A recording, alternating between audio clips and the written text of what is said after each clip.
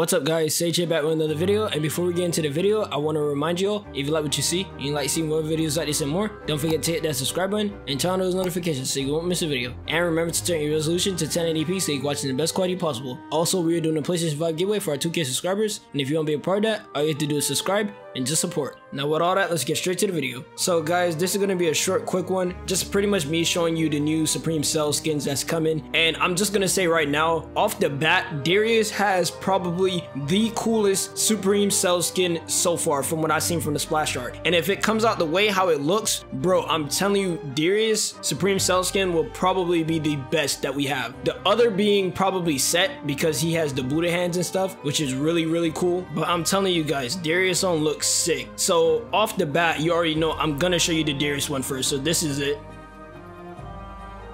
And then we have the Akali one, which we already seen this one a little bit, but it's not, it doesn't look too crazy from the splash art because, you know, it just looks like Akali just with a little flavor on it. Like, it doesn't really look anything too crazy from what we've seen from Akali. And then we have the last one, which is Samira. Now, the Samira one does look really cool. She, she, looks like she's going to have some kind of really cool effect going on her sword and stuff like that. So I think the Samira one will also be probably one of the better ones. But we could really expect some really cool stuff coming in the next patch after this one. And I'm really looking forward to going over some of this stuff because there's actually a lot more cool stuff happening in the background that we don't really know too much about yet. So it's really looking good for us so far in this patch. And I'm really looking forward to what they do in the future with the next patch. But overall, guys, if anything else comes out, I'll be sure to let you guys know. It's been Sage, and I'll catch you on the next one.